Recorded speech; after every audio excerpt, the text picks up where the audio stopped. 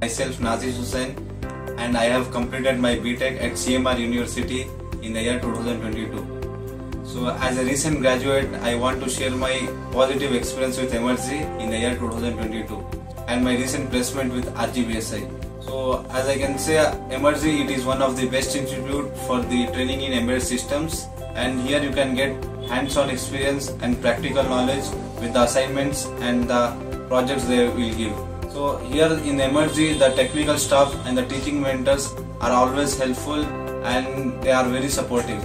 I joined Emertxe during my final semesters of the engineering and it proved to be one of the best decisions I have made.